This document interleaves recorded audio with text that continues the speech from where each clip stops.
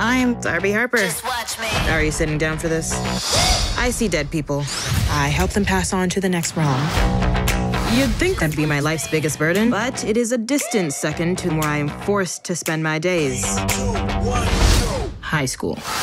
That's Capri Donahue, head cheerleader. Isn't cheer just for shallow, hot girls? I'm so glad you asked. And the answer is that's offensive. Capri knows I'm the one person she can't get to like her. Darby, I forgot you went here. Capri, give me my clothes. Why would I take your clothes? I'm not planning on attending a funeral. She can be a little extra sometimes.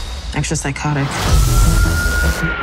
I'm reporting live from Frederick Douglass High School, where yesterday students witnessed the shocking death of head cheerleader Capri Donahue.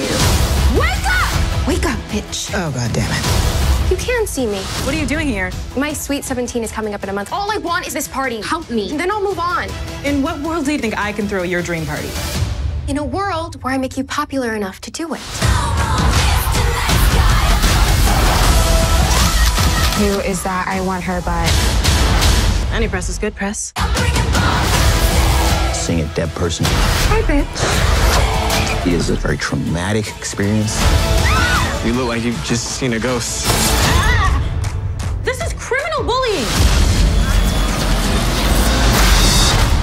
Think it's criminally good haunting.